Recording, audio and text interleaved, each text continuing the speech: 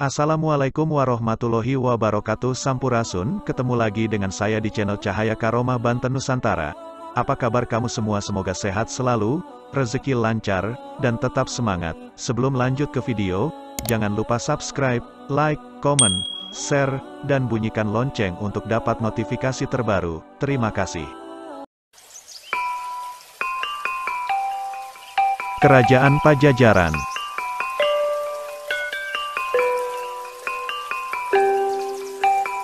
Kerajaan yang berpusat di Pakuan, Bogor sekarang, ini juga sering disebut dengan negeri Sunda, Pasundan, atau Pakuan Pajajaran.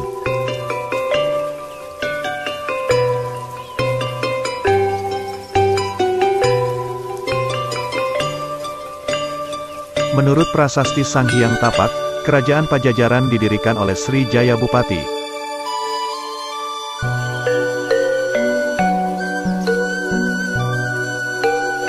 Kerajaan Pajajaran berdiri pada tahun 923 Masehi dan runtuh pada 1597 Masehi setelah diserang oleh Kesultanan Banten. Pada masa pemerintahan Sri Baduga Maharaja atau Prabu Siliwangi, tahun 1482 sampai tahun 1521 Masehi, kerajaan ini berhasil mencapai puncak kemasannya.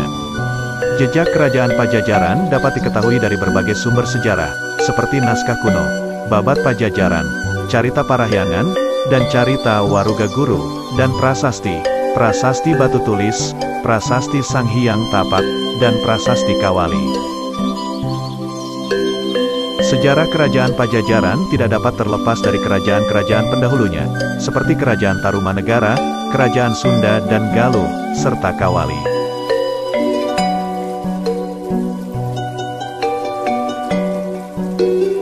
Menurut prasasti Sang Hyang Tapak, Raja Srijaya Bupati mendirikan sebuah kerajaan pada 923 Masehi di Pakuan Pajajaran.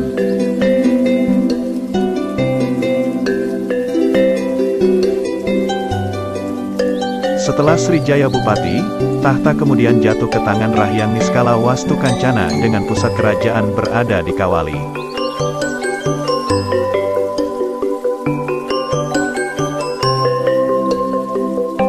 Pada 1428, Sri Baduga Maharaja atau Prabu Siliwangi dinobatkan dua kali untuk menerima tahta kerajaan Sunda dan kerajaan Galuh.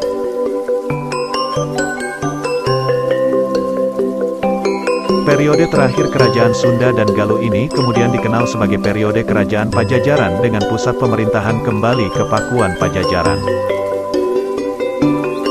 Mengenai raja-raja kerajaan Pajajaran, terdapat perbedaan urutan antara naskah-naskah babat Pajajaran, Carita Parahyangan, dan Carita Waruga Guru. Selain Srijaya Bupati sebagai pendiri, berikut ini beberapa raja yang tercatat pernah memimpin kerajaan Pajajaran.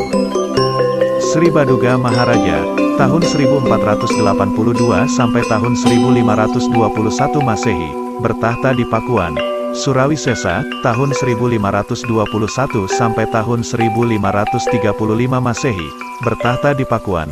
Ratu Dewata, tahun 1535 sampai tahun 1543 Masehi, bertahta di Pakuan.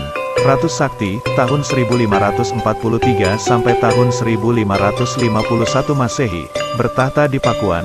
Ratu Nilakendra, tahun 1551 sampai tahun 1567 Masehi, meninggalkan Pakuan karena serangan Sultan Hasanuddin dan Maulana Yusuf.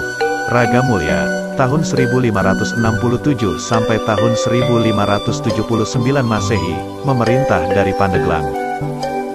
Masa kemasan kerajaan Pajajaran dapat dicapai pada masa pemerintahan Sri Baduga Maharaja atau Prabu Siliwangi yang memerintah antara tahun 1482 sampai tahun 1521 Masehi.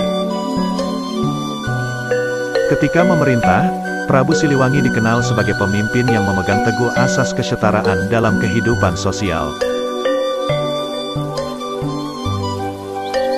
Kerajaan Pajajaran runtuh pada 1579 Masehi, akibat serangan dari kerajaan Sunda lainnya, yaitu Kesultanan Banten.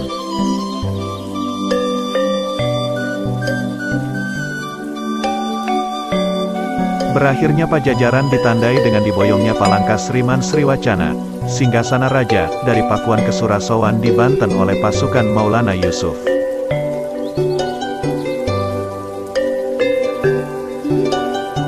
Hal ini juga menandai bahwa Maulana Yusuf adalah penerus kekuasaan Pajajaran yang sah karena buyut perempuannya adalah Putri Sri Baduga Maharaja.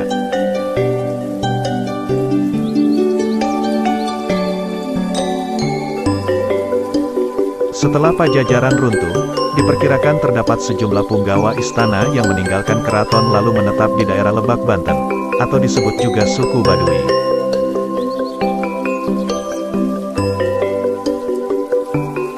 Peninggalan Kerajaan Pajajaran, Babat Pajajaran, Carita Parahyangan, Carita Waruga Guru, Prasasti Batu Tulis, Bogor, Prasasti Sang Hyang Tapak, Sukabumi, Prasasti Kawali, Ciamis, Tugu Perjanjian Portugis, Taman Perburuan, sekarang menjadi Kebun Raya Bogor.